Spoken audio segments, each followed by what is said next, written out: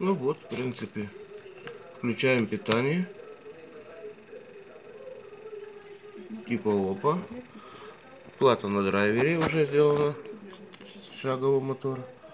И вот опять наш потенциометр, который был в прошлый раз. Мы начинаем его крутить. И все у нас происходит. Ну, понятно, что показания тут вообще не точно, это просто игрушка. Просто чтобы управлять стрелкой.